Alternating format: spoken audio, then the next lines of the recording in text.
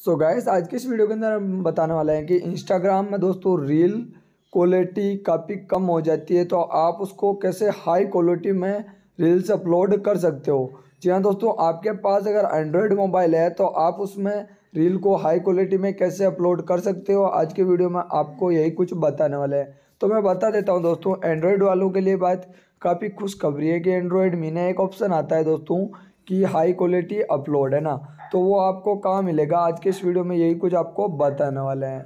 तो मैं बता देता हूँ, सबसे पहले आपको इंस्टाग्राम को कर लेना होगा ओपन इस तरीके से ओपन करोगे दोस्तों तो यहाँ पर आपको एक ऑप्शन मिलेगा आपके प्रोफ़ाइल वाला।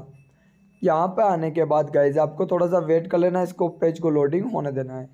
अब मैं बता देता हूँ दोस्तों थ्री लाइन्स पर क्लिक कर लेना है। थ्री लाइन्स पर क्लिक करने के बाद सेटिंग्स के आइकन में चले जाना है। इस आइकन में आने के बाद ये जो अकाउंट का ऑप्शन देखने को मिल रहा है, इस अकाउंट के ऑप्शन पर क्लिक कर लेना है। उसके बाद ऊपर की ओर स्क्रॉल कर देना है।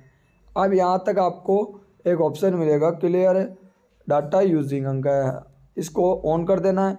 यहाँ पर आपको डाटा सेवर और अपलोड एट हाई क्वालिटी, इसको ऑन कर लेना है ना।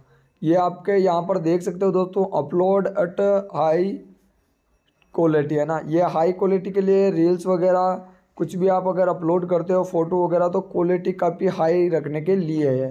तो इसको ऑन कर देंगे, फिर आप रील्स अपलोड करके देखेंगे तो आपकी काफ़ी प्रीमियम क्वालिटी रील्स में आने वाली है। तो दोस्तों, ये आपको वीडियो कैसा लगा? अगर आप हमारे चैनल पर नहीं हो तो गाइस चैनल को सब्सक्राइब और वीडियो को लाइक कर देना।